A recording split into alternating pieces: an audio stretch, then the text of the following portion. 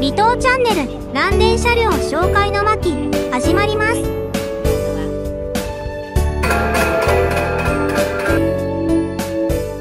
まずはモボ101型1929年に101から106までが製造されました。車体の更新や塗装の更新冷房化を経て実に90年以上も活躍しています。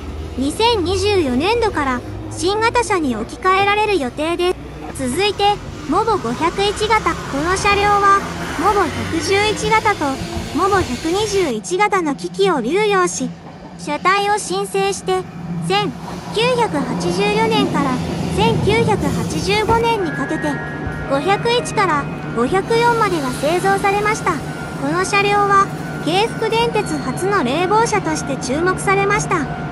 すでに503と504は廃車になりましたので501と502のみ在籍しています。蘭電では少数派となっています。続いてモボ611型です。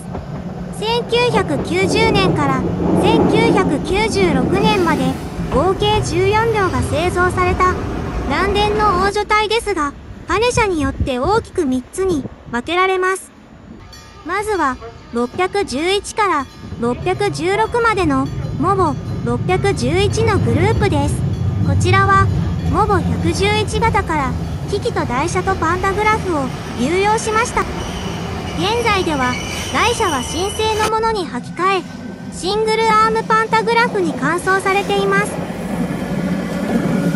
続いて621から625までのモボ621のグループです。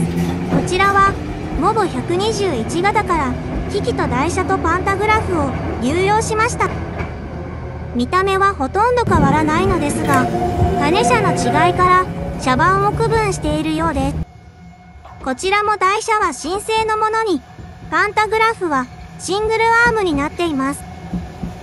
モボ621のグループといえばやはり生八橋優子のラッピング電車が好きですね。京都の街中なので宣伝効果は抜群ですね。とても美味しいですよ。あとモボ631グループがありますがサンリオという少女隊なので映像も画像もありません。次回伺った際に撮影できたら紹介します。続いてご紹介するのはモボ21型です。1994年の平安京線と1200年を記念して2両が製造されました。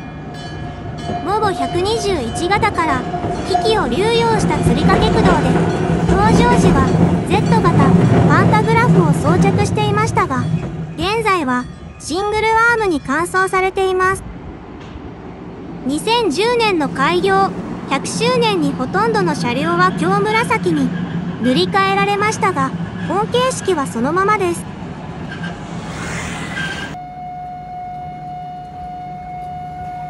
最後にご紹介するのは2001型です。2000年の開業90周年を記念して2両が製造されました。2000という型番も2000年にちなんだものでしょう。本形式は京福電鉄で初めてカルダン式駆動。VVVF インバーターを採用した形式ですが現在でも本形式のみ採用されています。ちなみにシングルアームパンタグラフも本形式が初めての採用でした。釣りかけ電車天国の蘭電において VVVF インバーターの音を聞くのは新鮮ですね。以上蘭電車両紹介でした。蘭電は今では珍しい釣りかけ車両が大多数。になってますので乗る楽しみがありますね。ただ2024年から新型車両の京都ラムが順次7両導入されることが決まっており、導入が完了する2028年までにモボ101型は全廃されます。